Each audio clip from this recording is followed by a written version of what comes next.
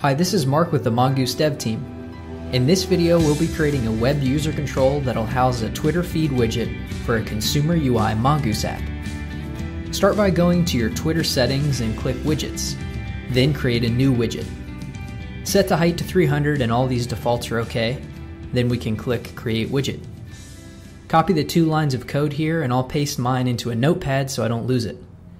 Open WinStudio and enter Design Mode. Click Edit, Web User Control Assets, then click New. Enter a name for the HTML file, then make sure the usercontrol.js is relative to the path of the current file. In this case, we just need to add another dot dot slash to ensure it can be found. Now add the hyperlink provided to the body of the web control, which is the first line.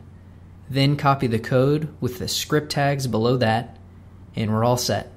Note that the script is placed inline in the body after the hyperlink, which means it'll execute as soon as the hyperlink's created and transform it into the Twitter feed.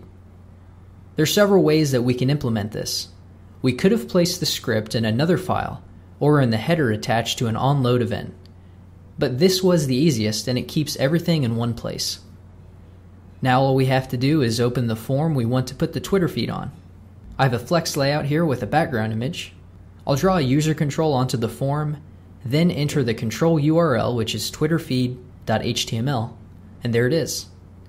It's being contained by the flex, so I'll clear that, and then edit the size of the user control to line up with the background image.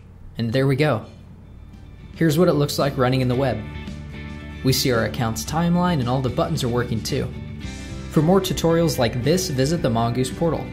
For tech support, visit Infor Xtreme, and for general questions, email mongoose at infor.com. We also have a new Twitter account and a Mongoose LinkedIn group, so come join our discussions there. This is Mark from the Mongoose Development Team. Talk with you soon.